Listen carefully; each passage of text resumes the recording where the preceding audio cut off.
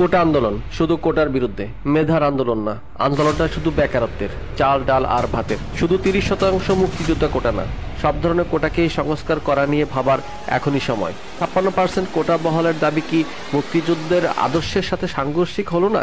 উনিশশো বাহাত্তর সালে যখন কোটার প্রবর্তন করা হয়, দেশে তখন সংখ্যা ছিল সতেরোটি। মুক্তিযোদ্ধা ও মেধা সব মিলিয়ে সংখ্যা ছিল মাত্র পঁয়ত্রিশটি। এখন চৌষট্টি জেলার কোঠা, নারী কোঠা মুক্তিযুদ্ধের কোটা, উপজাতি কোটা, প্রতিবন্ধী কোটা, মেধা কোটা, এই সব যোগ করলে কোটার সংখ্যা দাঁড়ায় দুইশো আটান্নটি। পৃথিবীর কোথাও কোটার সংখ্যা এত বেশি কোটার সংখ্যা নেই। আমাদের পার্শ্ববর্তী দেশ ভারতেও কিছু কোঠা আছে। কিন্তু সেখানে যে কোনো একজন যদি কোটার ব্যবহার করে ফেলে, বাকিরা আর পাবে না। অনগ্রসর পরিবারের হাল ধরতে সরকারের পক্ষ হতে কোঠা হলো একটা সাপোর্ট যা একবার ব্যবহারযোগ্য। তাহলে আমাদের দেশের কোঠার সিস্টেম কি সেভাবে বিবেচনা করে দেখা যায় না?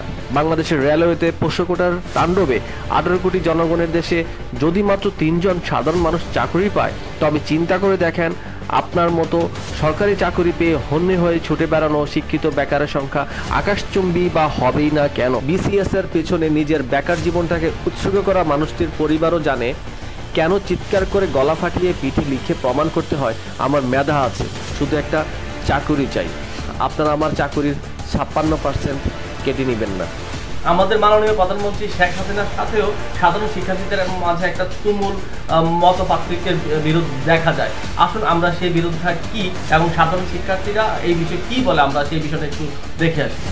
আজকে আন্দোলনের নামে যেটা আবার করা হচ্ছে, পড়াশোনার সময় নষ্ট করা, এটারও কোনো যৌক্তিকতা আছে বলে আমি মনে করি না।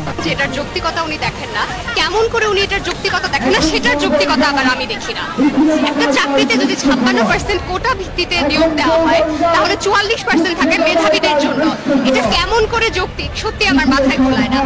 আর আমরা চাচ্ছি যে কোটার সংস্কার করা হোক। সংস্কার আর পুরোপুরি কোটা নির্মূল দুটা এক নয়। সংবিধানে লেখা আছে যেটা, যে যারা অনগ্রসর জনগোষ্ঠী, তাদের জন্য আমরা চাই যে কোটা থাকুক। যেমন প্রতিবন্ধী বা এথনিক মাইনরিটি যারা, তাদের জন্য কোটা থাকুক। কিন্তু মুক্তিযোদ্ধারা তো অবশ্যই অনগ্রসর জনগোষ্ঠীর মাঝে পড়ে না।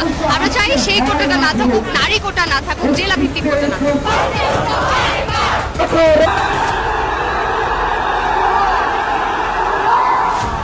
টানা এগারো দিন ধরে অব্যাহত কোটা আন্দোলন। ঢাকা সহ দেশের বিভিন্ন স্থানে সড়ক অবরোধ করেছেন শিক্ষার্থীরা।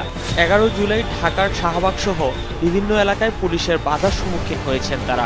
ঘটেছে পাল্টাপাল্টি ধাওয়ার ঘটনাও। সরকারের বিরুদ্ধে যে কোনো প্রকার আন্দোলনের সুবিধা আপনারা পাবেন না, সেটা আপনারা কনফার্ম থাকেন। তবে সরকারকে বুঝিয়ে শুনিয়ে যদি আপনারা এই আন্দোলনটাকে সফল করতে সক্ষম হন, তবে মনে হয় আপনাদের ভবিষ্যৎ জীবনটা চূড়ান্ত করতে ভালোই থাকবে। ছাত্রছাত্রীদের এই আন্দোলনটাকে আপনারা কতটুকু সমর্থন করেন তা আপনারা আমার কমেন্ট বক্সে জানিয়ে দেবেন। সে পর্যন্ত ভালো থাকবেন, সুস্থ থাকবেন, সুন্দর থাকবেন।